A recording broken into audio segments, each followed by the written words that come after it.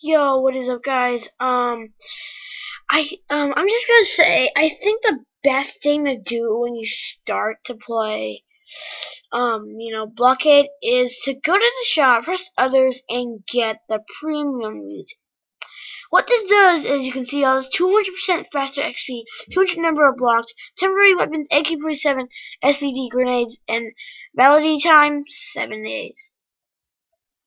Wait, I don't think this is permanent because it says seven days, but I don't really know if it's permanent. But you um you get 20 coins, so I would buy this. And there you go. I'm a premium now. See, guys, um, I think that's the best thing to do. I'm just saying for myself, but you guys don't have to do it. I'm just saying my choice, you guys don't really have to do it. But I really want to do it, so yeah. Um, this is just gonna be a video just, just telling you like what you would do or what I would do and like show you guys. So yeah. Hope you guys enjoy and I'll see you guys later.